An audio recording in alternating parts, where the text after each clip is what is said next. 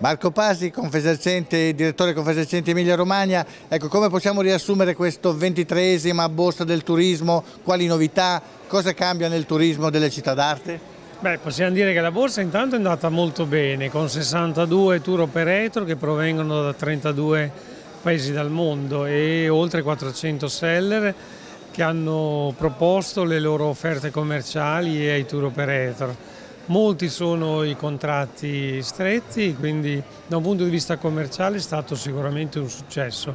Abbiamo avuto parecchie novità nei mercati di lungo raggio, quindi provenienze di tour operator da paesi molto lontani come l'Australia, l'USA, Stati Uniti, Canada, eh, Giappone, Corea del Sud e Cina, ma molto interessati alle nostre bellezze e ai nostri territori.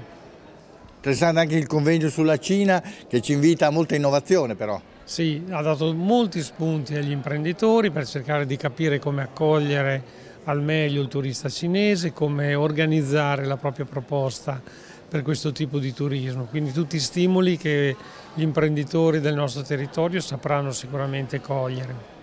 Aggiungo una cosa, fra pochi giorni arriva il primo volo Philadelphia Bologna, quindi dagli Stati Uniti si prevedono turisti? Sì, è molto importante perché Filadelfia comunque è collegato in modo veloce ed efficace con New York che naturalmente è la principale meta negli Stati Uniti, quindi potenzialmente questo volo può aprire delle prospettive molto molto interessanti e anche i due tour operator statunitensi che sono qui presenti oggi alla nostra borsa hanno apprezzato questo tipo di collegamento.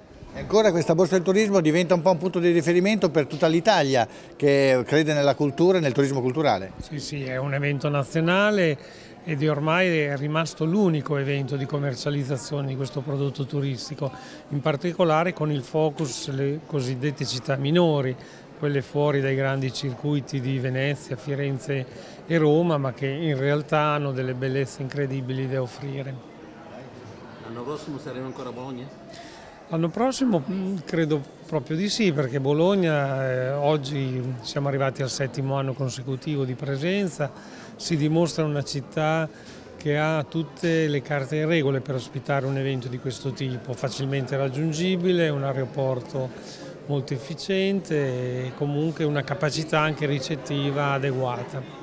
Puoi ricordare qualche Educ che comunque suscita interesse ai tour operator? Beh, sono stati molti colpiti anche da Dozza, Imolese e dalla stessa Budrio, però Bologna naturalmente, poi gli Educ in Emilia che hanno toccato Piacenza, Reggio Emilia e Parma e in Romagna con Ferrara, Ravenna, le Valli Marecchie e Conca sulle orme di Dante perché non dimentichiamo che nel, 2000, nel 2021 avremo 700 anni dalla morte di Dante che contiamo diventi un eh, importante appuntamento da un punto di vista anche turistico. Mentre nel 2020 avremo?